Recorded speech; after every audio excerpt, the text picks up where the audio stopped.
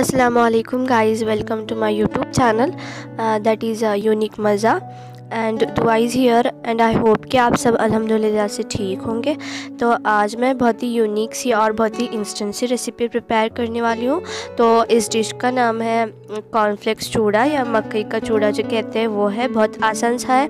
बहुत ईजी सा स्नैक्स है। ट्रैवलिंग के टाइम पे भी यूज़ कर सकते हैं। तो इस इसे प्रिपेयर करने के लिए पहले हम इसके इंग्रेडिएंट देख लेते हैं। इंग्रेडिएंट भी बहुत आसान से है। तो यहाँ पे पहले मेन इंग्रेडिएंट मैंने जो ले लिया है, ये है कॉर्नफ्लेक्स ये टू कप है और एक ग्राम में है फाइव हंड्रेड ग्राम ओके तो नेक्स्ट यहाँ पे मैंने ले लिया है फ्राइड ड्राई कोकोनट है। ये है वन कप और ये ग्राम में है हंड्रेड ग्राम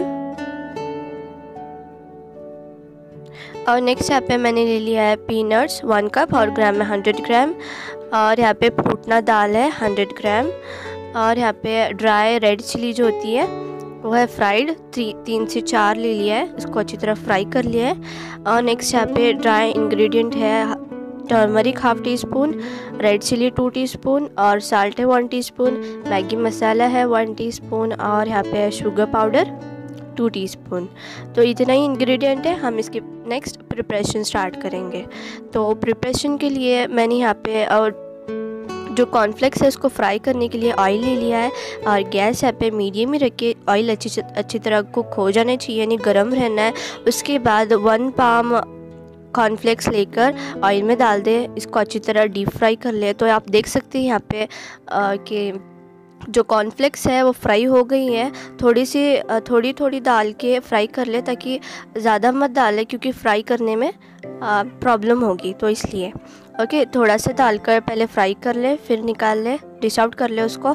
और नेक्स्ट थोड़ा सा ले ले वन पाम मीन्स यहाँ पे मेज़रमेंट है वन पाम लेके फ्राई कर ले उतना ही। तो यहाँ पे इसको अच्छी तरह जितना हमने कॉर्नफ्लेक्स ले लिया था, उतने सारे कॉर्नफ्लेक्स जो है फ्राई कर लेंगे, उसके बाद नेक्स्ट प्रोसेस स्टार्ट करेंगे। ये बहुत आसान सी डिश है और स्टोरेबल है और ट्रैवलिंग के फ्रेंड ट्रैवलिंग के टाइम पे बहुत यूज़ आती है और बहुत इजी सा है, बहुत ही टेस्टी रेसिपी है तो प्लीज़ ट्राई करें। तो यहाँ पे जो जितने हमने कॉर्नफ्लेक्स ले लिया था, वो सारे फ्राई हो गई है।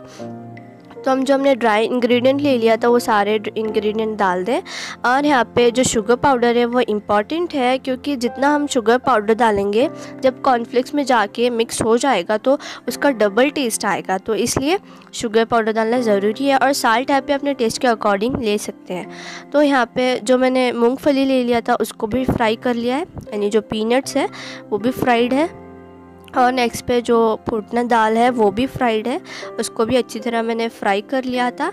और नेक्स्ट यहाँ पे जो मैंने ले लिया था कोकोनट ये ड्राई कोकोनट है। इसको अच्छी तरह कट करके तीन सा, उसके बाद इसको फ्राई कर लिया है।